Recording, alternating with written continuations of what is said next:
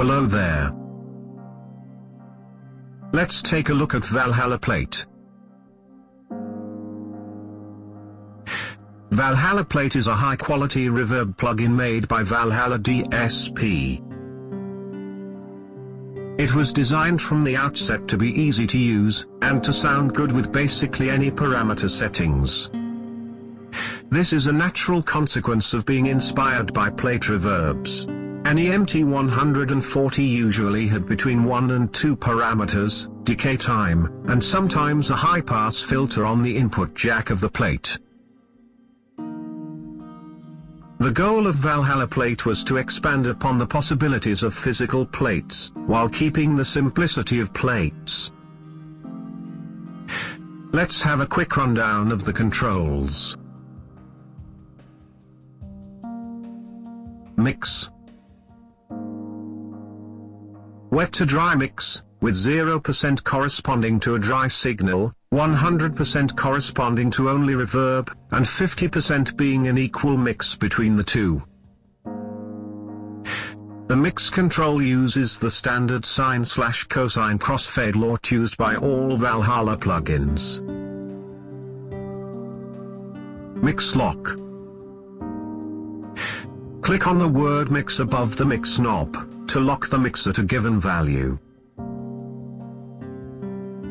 This is useful when browsing through presets, or when using Valhalla Plate as a send.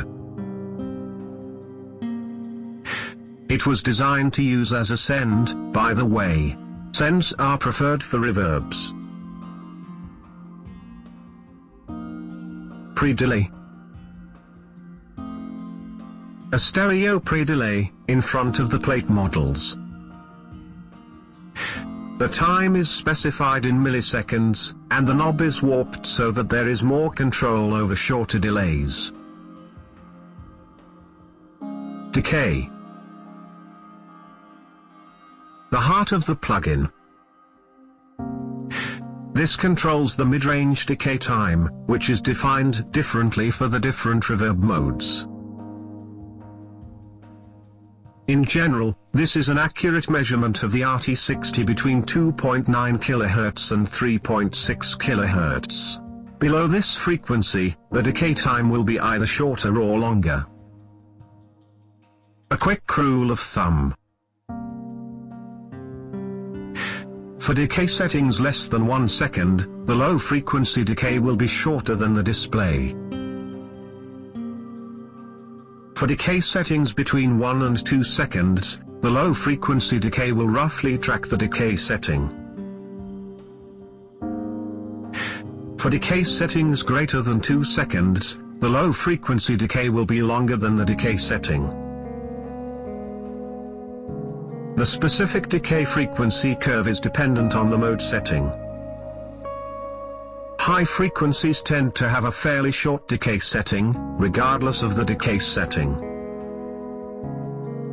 Short settings of decay will have shorter high-frequency decays, but once you get decay settings greater than 3 seconds, the high-frequency decay time tends to stay fixed. Again, different modes will have different high-frequency decay behavior. The decay knob has been warped so that the majority of the knob travel covers typical plate decays, i.e., between 0.5 and 6 seconds or so. The last 25% of the knob travel allows for decay times much longer than a physical plate. This probably isn't physically accurate, but according to Valhalla, it sounds cool. Size This controls the size of the plate, in arbitrary units. More accurately, this controls the modal density of the plate. Smaller sizes, between 0% and 100%, will create a more metallic sound, that is typical of physical plates. Larger sizes, greater than 100%, allow you to get a much higher modal density than a typical plate, which can create a smoother or clearer reverb sound. Width. Adjusts the stereo output width of the reverb. 100% corresponds to a typical reverb plate, where each pickup goes to a separate output channel. 0% mixes the left and right outputs together, and sends them to the left and right output channels. Width settings less than 100% can be useful for creating a smaller stereo image. Width settings greater than 100% increase the perceived width of the image. This isn't a conventional MS matrix, the width control has been optimized for reverb signals. EQ Low Freq Adjusts the cutoff frequency of a first-order low shelving filter on the output of the reverb. EQ low gain. Adjusts the boost cut of the frequencies below the EQ low Freq setting. This is a gentle boost cut, and can be used to add some clarity or weight to the reverb. EQ high Freq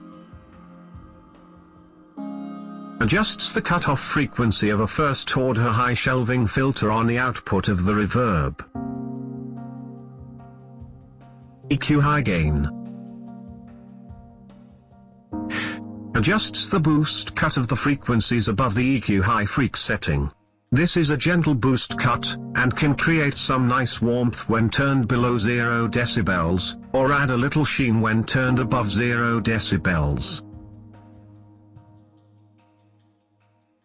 It is worth noting that the equalization of Valhalla plate will change with the decay setting.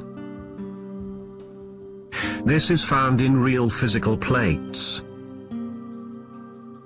The overall equalization is different for each of the reverb modes, with different modes having more or less inherent brightness. Also, the EQ filters are not embedded within the reverb algorithm itself, so the settings of these filters will not affect the decay of the reverb. Mod rate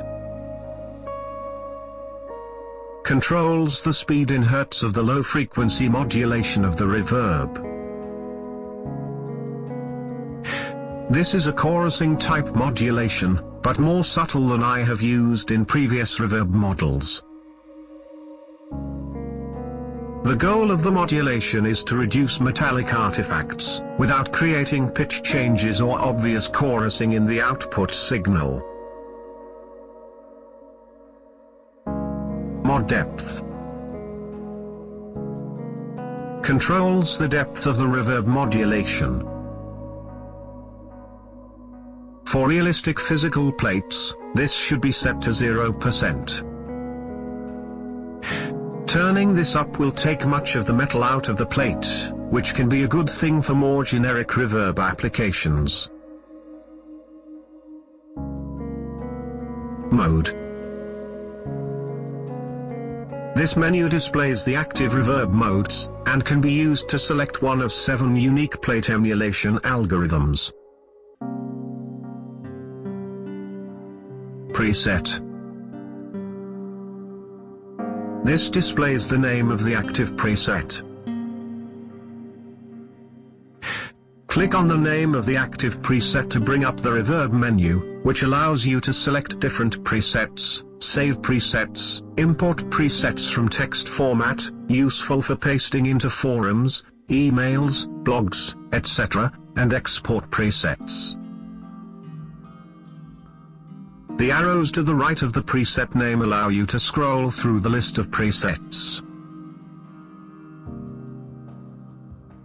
Now let's look at the reverb modes.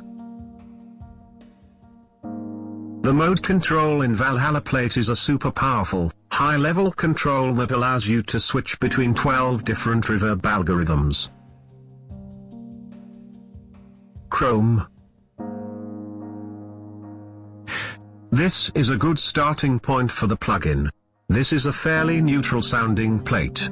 The attack is not super sharp, and the tone is kinda bright, but not too bright. steel.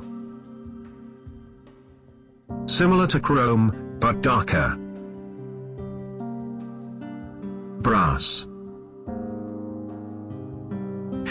Much sharper attack than the first three modes. If you listen to the signal 100% wet, it almost sounds like there is some dry signal in there. Cobalt. This has a deeper attack than both chrome and steel, i.e., the sound seems to come from a more distant sound source. The tonality is fairly dark. There is a bit of resonance in the very low mid-range, that was dialed in from a specific EMT140 from a vast recording. Most of the other Valhalla plate modes were deliberately designed to have a more neutral tonality, but this low mid-range resonance was key to getting close to that specific sound. Adamantium mono in, stereo out mode, with the dense upper mid-range and lower modal density found in older plates. Lower modal density, with lots of high-frequency air. Titanium. Mono in, stereo out mode. Darker tone color than adamantium. Osmium. Mono in, stereo out mode. Dark tone color, with a booming low end that is befitting of the densest metal found in nature. Aluminium. Much higher modal density than the first four modes. With the size parameter set greater than 100%, aluminium can sound much more like a chamber than a plate. There is a slight metallic sound to a well-tuned plate, that the first four reverb modes have. Aluminium, and copper and unobtainium, have less of this metallic sound and can sound much clearer. The overall tonality of aluminium is fairly bright. Copper, high modal density, but deeper and darker than aluminium. The sound seems to come from deep within the plate. Set the size up to 200%, add a touch of modulation, and you have an open-sounding reverb that works on almost any source material.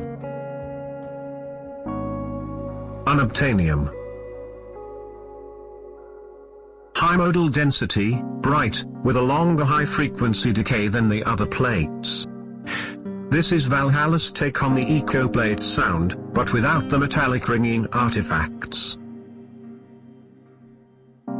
Turn up the modulation, and you have a perfect reverb for synths. Radium A chamber plate hybrid that uses the equivalent of two parallel monoplates to preserve the stereo image of your input signal. Lithium A lush chamber plate hybrid, with a unique approach to the stereo image that is inspired by the stereo chambers found in some recording studios. Helps to preserve the input panning of signals, while still having a realistic fill of the stereo image over time. Now you know how to use Valhalla Plate Reverb. Check out the other tutorials we have on numerous reverbs, effects and instruments. Thank you for watching and please subscribe. Have a great day.